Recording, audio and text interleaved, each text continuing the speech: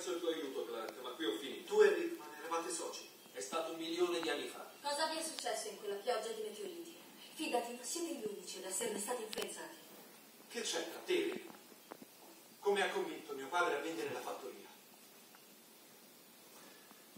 Fino a quel giorno eravamo i peggiori venditori che fossero mai esistiti.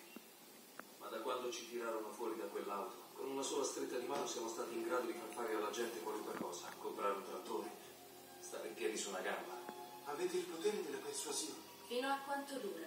fino a che non fanno quello che gli dico. Potrebbero essere due minuti, due ore. Poi non si ricordano più niente.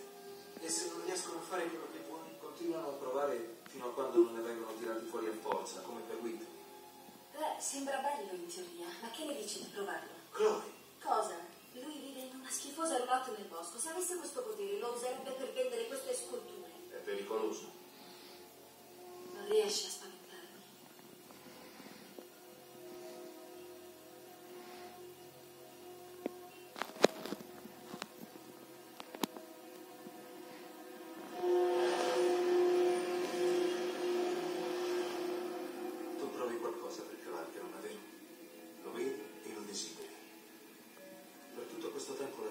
was.